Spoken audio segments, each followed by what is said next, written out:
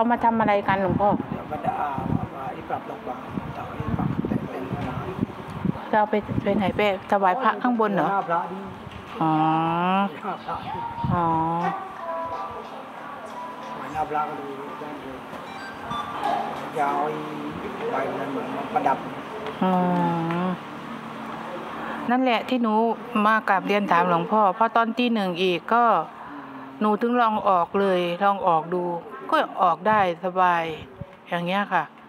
ไม่ต้องรอให้ถอนเองเงี้ยหลวงพ่อเออ ก็เลยอยากเรียนถามนี่แหละว่า อันไหนมันดีกว่ากันอง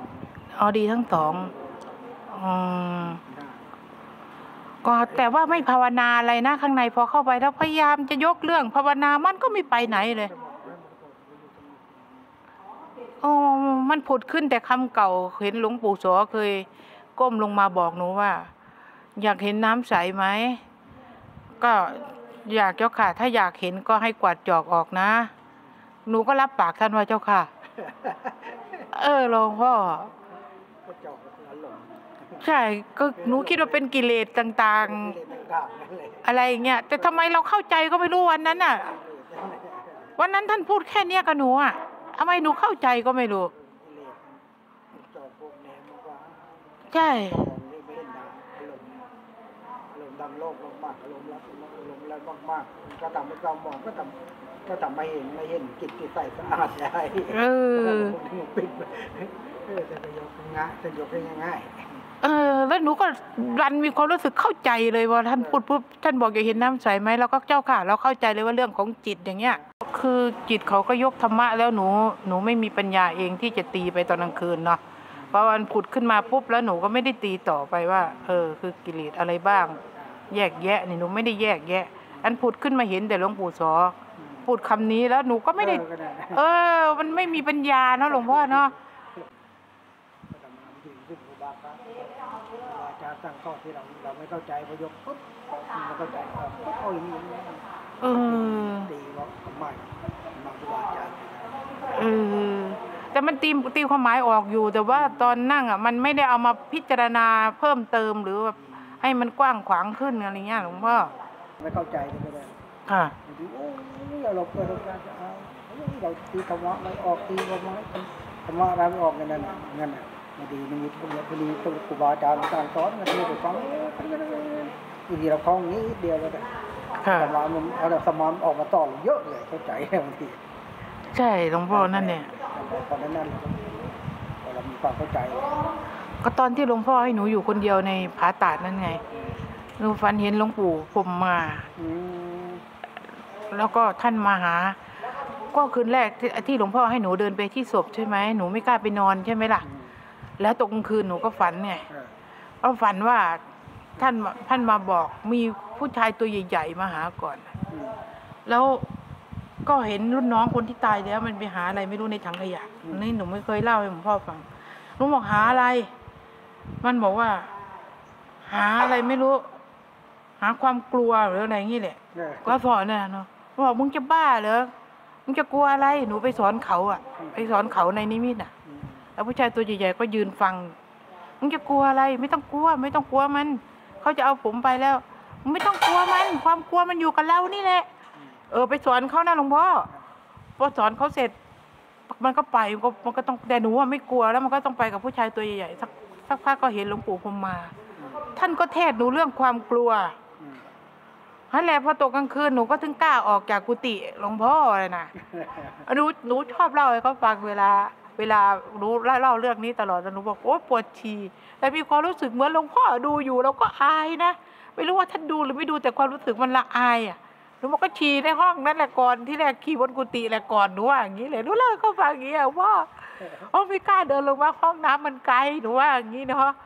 บอกโอ้หลวงพ่อเอ้ยก็ยกมือใส่หัวอย่าว่าหนูนะหนูกลัวไม่กล้าลงก็ยกหัวความรู้สึกเราเหมือนว่าหลวงพ่อต้องสองตาที่เอ๊ะแต่ว่าเที่ยวโคจรหลวงพ่อห้ามผ่านแล้วก็เข้าข้างตัวเองไว้นะหลวงพ่อทะเลแล้วหนูก็ ตั้งแต่หนูที่หลวงพ่อให้หนูเข้าห้องอะหนูเห็นครูบาอาจารย์หลายองค์หลวงพ่อทูลก็มาอืมแต่หนูไม่เคยไม่ได้กราบเรียนหลวงพ่อหนูไม่เคยรู้จักหลวงพ่อทูลเลย จนมารู้จักวันที่ท่านท่านมรณะเนี่ยอืมหนูค่อยมารู้จักค่ะ หลวงพ่อทูลตอนที่ไปที่ไปหาหนูอะท่านยังไม่มรณะนะหลวงพ่ออืมแต่หนูไม่รู้จักเออพอมาได้ยินอีกทีคือท่านอยู่สายหลวงหลวงปู่มั่นไงเออผมค่ะหนูเพิ่งมารู้จักเนี่ย แล้วก็หลวงปู่ทุยนี่ก็เคยมาหาหนูหนูก็ไม่รู้จักแต่ท่านใช้ชื่อว่าทาดาอืมเพราะท่านชื่อทาดาใช่ไหมอืมหนูก็เพิ่งมารู้จักว่าคือหลวงปู่ทุยพอไปเห็นรูปหนูโอ้เนี่ยองค์เนี่ยอืมเนี่ยหลวงพ่อหนูฝันเห็นครูบาอาจารย์เยอะนะอืมาในนิมิตอะเรื่องอย่างอยู่นนครสวรรค์ที่หนูนั่งสมาธิก็เห็นหลวงปู่บุตรดาไงอืมมันลอยอยู่ตรงหน้าหนูไปนั่งอยู่พุทธบาทเนี่ยอืมอันเนี้ยสอนหนูว่า นั่งเอาเวลาเหรอหลวงปู่หนูบอกหลวงปู่หนูจะลงไปแล้วมันค่ำแล้วหลวงปู่ถามหนูว่านั่งเอาเวลาเหรอเมื่อก่อนก็ชอบเอาเวลามา เอ้ยคุณนั่งได้เท่านี้กี่ชั่วโมงกี่ชั่วโมงไงหลวงพ่อชอบไปอวดกันไง แล้วทีนี้พอทอท่านพูดนี่สะอึกเลยนะอืมแล้วเราเราบอกว่าอ้าวแล้วหนูจะทันเขาเหรอหลวงปู่หนูอยากลงไปข้างล่างหนูอยากลงไปข้างล่าง แต่หนูออกไม่ได้เนี่ย ขามันก็ปวด มันจะระเบิดแล้วหลวงปู่ แล้วท่านก็ถามว่า หัวใจอยู่ไหน เหมือนเราเหมือนเราไม่ได้นั่งสมาธินะหลวงพ่อเรานั่งขัดสมาธิเฉยๆแต่มือเราชี้ให้ท่านดูว่าหัวใจอยู่นี่ แล้วขาอยู่ไหน หนูก็บอกอยู่นี่ มันไกลกันตั้งมากครับมันจะตายไหมมันระเบิดดูสิอืมหนูบอกเอามางั้นงั้นเอายอมหลวงปู่อย่าเพิ่งไปไหนนะอยู่ตรงนี้แหละหนูจะได้ไปกับหลวงปู่หนูพูดอย่างเงี้ยครับแล้วมันก็ระเบิดที่มันระเบิดตูมออกอะหลวงพ่อระเบิดออกจากเราเลยนะ แต่มันเย็นตั้งแต่หัวจุดเท้า ระเบิดนี่มันเหมือนเป็นสะเก็ดขาวๆเรืองเหลืองๆออกจากตัวเรา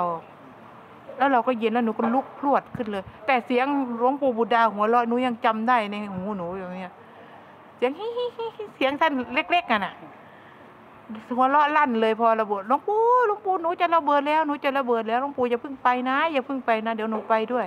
รอหนูด้วย รอหนูด้วยพอมันระเบิดตุ้มหนูก็ลุกขึ้นเลย เขาก็นั่งล้อมวงดูหนูแต่หนูวิ่งลงวิ่งลงมาหาหลวงพ่อสามารถบางทีมันจะอยู่สักพักนั่นเลยหลวงพ่อน่าจะนั่งอยู่สักพักตอนนี้มีคนบอกคนสอนไงหลวงพ่อพ่อเคยนั่งเลยแล้วถ้านั่งสักพักมันจะเป็นยังไงหลวงพ่อดูว่าหลงพี่เปียวอ๋อหลวงพ่อ ถ้านั่งต่อมันเป็นยังไงหืมถ้านั่งต่อไปอีกนิดมันก็จะมีอะไรดีอย่างนั้นก็นั่งต่อทุกพักอ๋อ เรื่องเรื่องหนาสุขที่เราไปที่อารมณ์ไอ้อารมณ์อารมณ์โลกก็ไปอารมณ์หยาบหยาบๆมันจากไปอารมณ์ละเอียดมันเป็นยังไงก็จะหลงโอ้ไอ้นั่นไอ้ที่มันระเบิดอารมณ์หยาบมันออกโอ้เหรอหลวงพ่อโอ้สาธุที่เขาว่าข้ามเวทนาน่ะเหรอตัวนี้เหรอโอ้สาธุเวทนาเราก็ดูพอพอพอระเบิดปุ๊บเวทนาก็ดับอ๋อเบาจิตเบาโล่งเออหนูก็ลุกพรวดขึ้นเลยจริงถ้าอยู่นานเราจะลงแบบโอ้ยมัน จะฝ่าโดยจะรู้ความเปลี่ยนแปลงของกายด้วยไม่รู้ความเปลี่ยนแปลงของอารมณ์ เขาบอกว่าพวกที่นั่งดูหนูเขาบอกว่าหนูพูดออกมาเลยว่าหลวงปู่รอหนูด้วยรอหนูด้วยรอหนูด้วย เขาก็เลยตกใจกันเขานั่งมอง แต่พอหนูลุกขึ้นหนูไม่ฟังใครเลย เขาบอกว่าหลวงปู่ไหนหลวงปู่ไหนหนูก็บอกหลวงปู่บุตรดาหลวงปู่บุตรดาแล้วหนูก็วิ่งลงมาเลย เออหลวงพ่อสามารถบอกเฮ้ยคืนนี้ขึ้นไปอีกขึ้นไปอีกหลวงพ่อสามารถบอกขึ้นไปอีก ถามเราถามว่าเราโอ้ถ้าเราตรงนั้นถ้าเรามีสติเราบรรลุนเอออ๋อจะรู้เลยว่าโอ้การเปลี่ยนแปลงของอารมณ์การเปลี่ยนแปลงกายเป็นยังไงเราหลงมันเป็นเอาแปลงเป็นยังไงร่างกายเป็นยังไงระบบร่างกายเป็นจะรู้ว่าโอ้มันกายเบาจิตก็เบาอารมมันเบาหมดหลวงพ่อการระเบิดนี่หนูเคยระเบิดถึงสามครั้ง อันนี้เป็นครั้งที่สามแต่ว่าครั้งแรกอะ จะมีเสียงบอกหนูว่า เอ่อออกจากสมาธิสิลุกขึ้นวิ่ง ไฟข้างบนมันจะระเบิดแล้ว มันจะระเบิดลงมาลุกขึ้นวิ่งหนูไม่รู้ไม่ลุกค่ะหนูบอกว่าเอ๊ะถ้าตายด้วยท่านั่งสมาธิดีโอ้ให้มันดังไปเลยหนูว่าอย่างเงี้ยความคิดความคิดหลวงพ่อให้มันดังไปเลยหนูก็ว่าอย่างเงี้ยเนาะอันนี้อันนี้อารมณ์อ๋อนี่อารมณ์ใช่ไหมอารมณ์อืมอารมณ์อารมณ์หนึ่งก็ใจออกอารมณ์หนึ่งก็ใจมันก็มีเด็กขาดเป็นปัญญาก็เป็นก็จะนั่งไป แต่มันเหมือนเห็น เห็นไอ้นั่นกำลังเริ่มหลุดออก เหมือนเราดูเห็นแต่เรานั่งอย่างนี้ แต่มันเห็นหมดเลยนะว่าเราจะลุกไหมไม่ลุกน่ะตายเป็นตายหนูว่าอย่างเงี้ยเอาตายก็ตาย แล้วมันก็เหมือนระเบิดลงมาจากข้างบนตูม แต่พอมาถึงตัวเรามันกลายเป็นเป็นความเย็นแล้วก็เป็นสะเก็ดเล็กๆเล็กๆเล็กๆเล็กๆเล็กๆไปอย่างเงี้ยหลวงพ่อแล้วก็อีกครั้งที่สองคือ มันก็มีเสียงบอกอีก ตึกกำลังจะยุบแล้วลุกลุกหนูนั่งอยู่ชั้นสี่ใช่ไหมคะ เหมือนเรานั่งอยู่เงี้ยแล้วเรามองลงไป ตึกมันบุ๋มลงไปอะหลวงพ่อมันบุ๋มหนูบอกเราจะลุกไหมไม่ลุกนะตายก็ตายตายด้วยการทำสมาธิครูบาอาจารย์ที่เคยอ่านเจอ ท่านบอกว่ามันดีก็เอาอย่างนี้แหละ ช่างมัน มันก็มันก็เหมือนถล่มหลวงพ่อบุ้มเหมือนกายเราเป็นลงไปกับเขาหมดแต่ว่า เราก็นิ่งอยู่อย่างนั้นน่ะก็ก็กลับมันอยู่เฉยๆอะมันไม่เป็นไรทีนี้พอมันระเบิดไปแล้วมันก็ไม่มีอะไรอย่างเงี้ยไอ้ไอ้พวกนี้มันคืออะไรมารหรือว่ามันเป็นอะไรนั่นพวกเราพวกเราอารมณ์หยาบ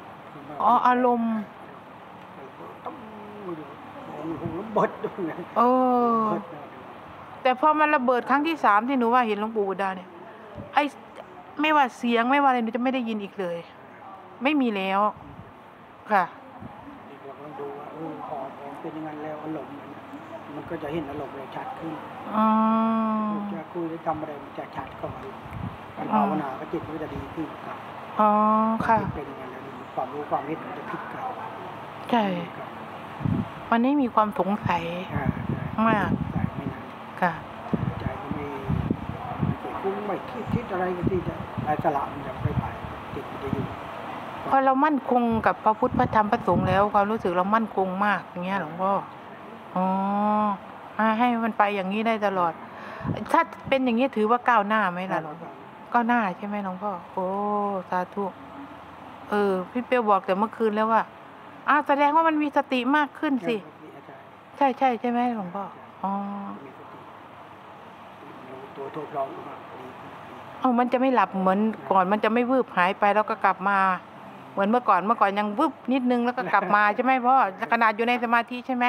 มันก็ยังมีวืบไปอย่างเงี้ยแต่นี่มันจะไม่มีเลยแล้วก็จะไม่มีงอกไม่มีแงกไม่มีอะไรเลย มันจะอยู่ของมันไปอย่างนั้นนะจนถึงชั่วโมงกว่าไปอย่างนั้นเลยหลวงพ่อนั่นแหละ เพียงแต่มันไม่พิจารณาแค่นั้นเอง